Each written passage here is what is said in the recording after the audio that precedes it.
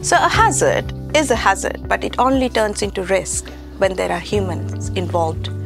So we try to understand that relationship, the nature and the human relationship better here. So obviously technology is integral to everything that we do these days and hazard management is no exception. So whether we're trying to predict and warn people about a volcanic eruption or a forthcoming earthquake, or whether we're alerting them about a, a flood event and giving them the best possible information on how to respond, so we look at a range of hazards. Uh, we look at volcanoes, floods, windstorms, earthquake, landslides, and uh, we look at what processes are involved, the physical processes, and how those processes have an impact on the society.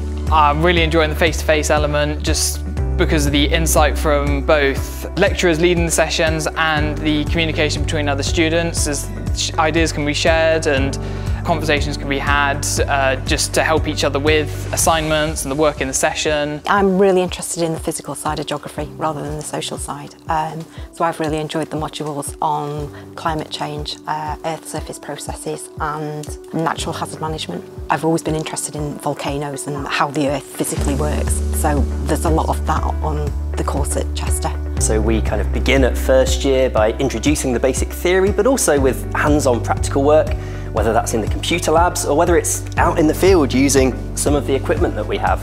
And then over the, the kind of second and third years, we get into more detail, start to bring in more sophisticated analysis, modelling techniques.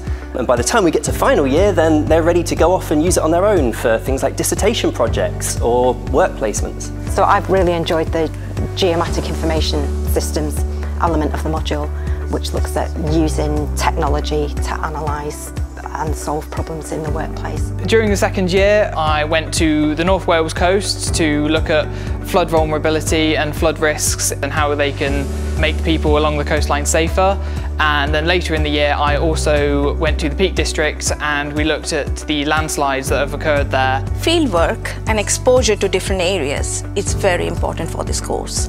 Uh, it gives our student that exposure uh, to understand different landscape and we are very lucky to be geographically located in an area where we have different types of landscapes all around us. Third year is the year where we go international and go on top of Mount Vesuvius and that is incredibly uh, important and gives that overview of how uh, physical and social aspects of hazards are brought together in one place. We've done the online field work um, for Naples, which was really interesting, even though we weren't actually there. Um, but yeah, we're going there in, in May, so that, that will be really interesting. Last year we went to Kinmel Bay in North Wales, where we were looking at flood risk.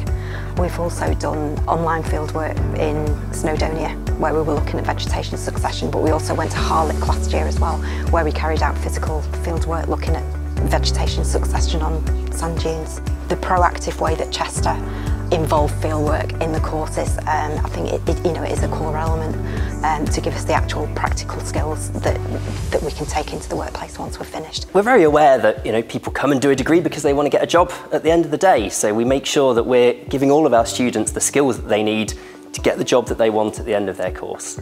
Thankfully, we've got some great relationships with a whole range of employers, many of whom are actually some of our past students.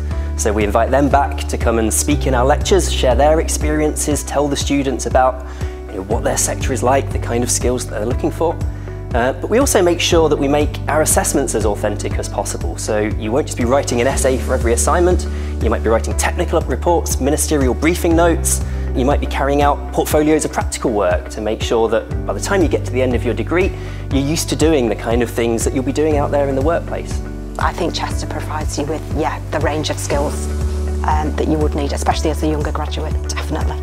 So a part of my career is to do a year abroad and I'm really looking forward to doing one to gain the employability skills of working internationally as well as the academic skills that I've gained through working in the department. If we manage to do the job perfectly then a catastrophe will never happen. You know, if we've, that's, that's the ultimate aim is that we take the steps, we understand the hazards, we put the mitigation measures in place, we make sure people know how to respond and actually then if an event does occur, you know, the, the impacts of it are, are minimised as much as possible.